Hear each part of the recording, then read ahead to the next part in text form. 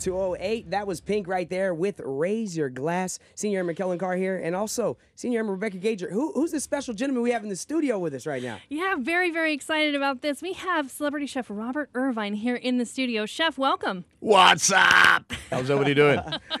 Doing real good, Chef. Thank you. So I'm very excited to meet you. Obviously, I've been watching you on TV, and uh, you know, I was like, all right. So this very, very, uh, you know, impressive TV chef is coming. I'm really excited about this. And you've had a lot of successes in your career, but the thing that really grabbed my attention was you actually started cooking in the military. yes, I'm a, I'm actually a Navy cook um, attached to uh, Marine Corps and uh, naval warships and various other things. So yeah, I did almost 14 years in the military.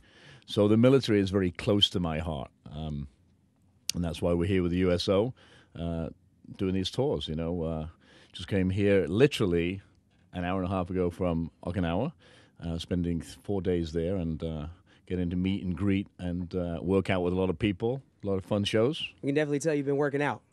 I didn't work out today, me and you, but you look at the size of you. Yeah, What do you look- eat? People for breakfast? Hey, listen, Chef. I, I, I'm impressed, brother. I'm impressed. You're busting out of that uniform. I'm, I'm trying to look at it. He said, he said, I'm gonna take my shirt off, and I was like, oh man, Chef, Well- look, got some guns here. Uh, yeah, really, honestly, yes. Now, Chef, real fast. Uh, this sort of grabbed my attention. You joined the Navy very young. 15 and a half years old. Uh, in England, it's kind of it's pretty much like you do junior leaders in the United States. Uh, I joined the Navy, and it's funny because I'm not the smartest guy in the pack. You know, when I went to when I went to school, I hated it, but uh, I did my entrance exam at the recruitment office, uh, one in English uh, to five, one being the highest, five being the lowest, and the same in maths, and I got five five. So I'm not that smart, right?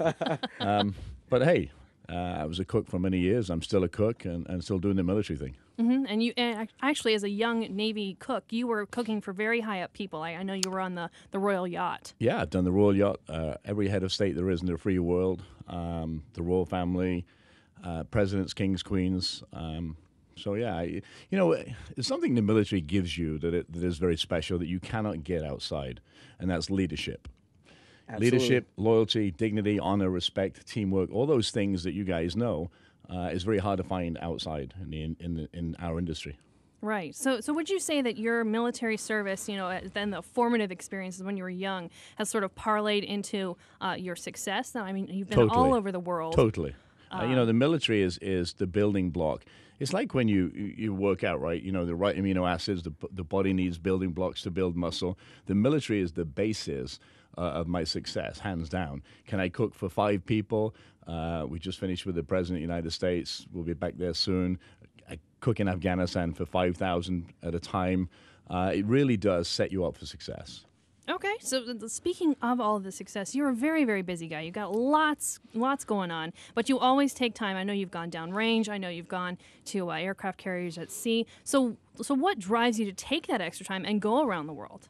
You know, I, I'm very blessed. Uh, my whole team is made up of former military guys. You have a former military, uh, uh, sorry, former Marine. Uh, guy behind me, Dave Longstaff, 30 years, just retired, uh, Army Food Advisor. Uh, we have a Navy guy. It's just something that I feel our, our company, our time, has to give back to those men and women that serve our nation, wear the cloth of the nation, because they give so much and their families. It's not. Um, something I take very lightly. You know, we go all over the world. You said we Afghanistan and, and Abu Dhabi and Honduras and Italy and um, Japan was the next one. And uh, I tell you, we've had an amazing, amazing trip. And if it wasn't for the great folks at the USO, and I got to tell you, uh, I've always admired them, but having been the first one in 2015 to come on tour with the USO, amazing group of people. Do you know? On average, 30,000 random acts of kindness every day while we're doing this that go on from volunteers to serve our military families. That's pretty awesome. Absolutely. That doesn't really surprise me at all. I, and honestly, you've taken a step beyond your trips to visit the troops and uh, at deployed locations and overseas. You've actually gone ahead and, and made a foundation. Could you tell us about that, please? Yeah, we have the Robert Irvine Foundation, a 501c3 that is dedicated to military families, kids with cancer, and Make a Wish Foundation. Um, giving back, uh, we have products, uh, food products, clothing products, TV products, all those products uh, give into my foundation so we can actually give and support those families. Gary Sinise and I are, are um, partners on the Invincible Spirit festivals that we do. Last year, I think 122,000 wounded warriors and caregivers uh, that we fed and Gary played. Um, 28 homes were built last year uh, for severely handicapped warriors. So it's, it's a big deal for us. And my whole team, let me tell you, Justin, the guy sitting in the corner, he, he likes to work out, but not at 5.30 in the morning with, a, with, uh, with 450 Seabees. I'm not a morning workout guy either. I, I- I can't do the mornings. No, He, he's shaking his head. Yeah. it's a slow start in the morning for me. Yeah. well, so it's cool. Well, speaking of working out, I mean, I know you're passionate about fitness and nutrition, and you've said that you know good good food can bring people together. You published a, a new book last year. So, what's the vision behind this new direction into uh, like fitness and nutrition? I've always been into into fitness uh, since I was in the military. You know, it, it's kind of given to you, and you go with it. Absolutely. Um, But I truly believe that food is a is a medium that we can actually teach kids about where food comes from, which in then turn gives. Uh, a bonding moment with families. I want kids to cook with their families. I want the families to make a mess. You know, my mother used to say to me, "Don't don't play with your food. I want you to play with your food. I want you to understand where it comes from. I want you to understand nutrition." Um, and it's kind of a natural progression. We have a daytime talk show uh, going to happen very soon. We start filming in March, all about conflict resolution, health, fitness, and wellness. And I think that's the next. We're getting smarter as human beings about what we eat. It's okay to indulge, but it's also, you know, we've got to watch what we eat. Um, so yeah, I think it's the next next kind of thing for me. I think the one thing you gotta say is you're, you're talking about the balance between physic, uh, you know, physical fitness and then uh, nutrition. You definitely found that balance, and that's the reason why Men's Fitness honored you as one of the 25 fittest guys in America. and and Yeah, it shows. It goes to show. Well, we just, it's so funny. We just shot the uh, cover of Train magazine. It comes out in February. Uh, my wife is a professional athlete, um, a wrestler. Um, it's just kind of, it's cool. Yeah, you think of a big, like, muscular girl. She's very dainty, but uh, uh, yeah, it- it's fun. Uh, uh, That's pretty cool to say. My wife's a professional wrestler. Like, I mean, yeah, very few people can really say that, honestly, if you think about it. Yeah, but when I show it, she's actually would normally be with us, but uh, she's actually filming in New York City right now. oh, I follow wrestling. I know very Gail. I know Gail Kim. Okay, yeah. You know- WWE yeah, diva. yeah, yeah. Oh yeah. Oh yeah. All TNA. Yeah. yeah. yeah. I like I like wrestling. So uh, yeah, you got you a good one. How, how did that How did that even come about? Uh, Dinner Impossible. I was actually doing a show with WWE in uh, Los Los Angeles. There's SummerSlam.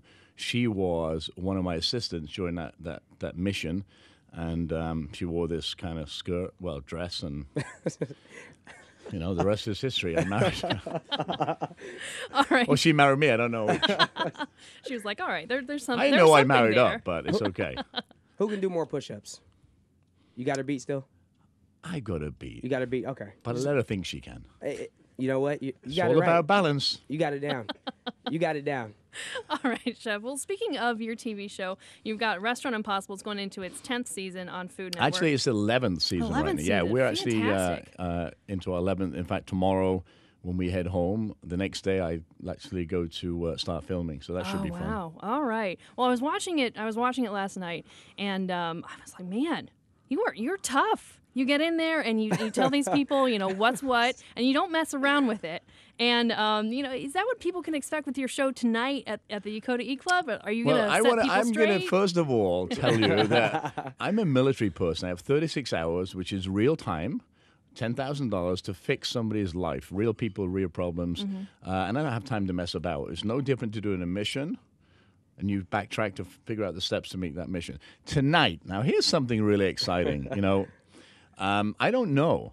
Tonight is something very unique because the team behind me actually put the show on, and I just show up. I have no knowledge about what's going to go on. uh, the audience picks what I do based on a, a series of things. Um, I'm very into the audience, and um, it's their time, my crew's time, to get me back. Wow. And trust me, there's a guy out shopping right now, and I don't know what he's buying or what he's doing. Um, all I can tell you is it's a multi-sensory uh, experience. It's almost like a variety show wow. with cooking in it. with food. Uh, yeah, right. yeah. the, the one thing I, I saw, in, like in 2013, when you did the tour to Afghanistan, you did a meals ready to eat, an MRE Yes. competition. How how does that work? It was so funny because they're all, all, you know, we hit five uh, uh, fobs and, and did an awful lot of stuff that, that you can't normally get to, thanks to, to Dave behind me uh, and General Abrams and a few other people. But I want to do something fun. And one thing that we all hate, if you're in the military, is is MREs. Um, but I wanted to do something that would help them in the field because normally we strip the rations, we take what we want out of them, we throw the rest out. Absolutely. Yes. Um, so I said, well, listen, I'm going to show you what you can actually do with these MREs that you don't know what to do with first. So I did a demonstration. Then I picked three teams. It was uh, Army against um, then the Air Force and the Marines, um, and strategically placed these MREs in a triangle around uh, the rest of the folks that were there. And then they had to run, scavenge in the dark, find them, and then then using uh, and I only used a pen and a spoon Okay. a plastic spoon and a pen that you would have in the field. Sure. And I made mousses and used the bags to shake. The, I made some amazing stuff, which was funny um, with an MRE. You don't think of it, but uh, in fact, yesterday um, with the Fourth Marines, they did the same thing.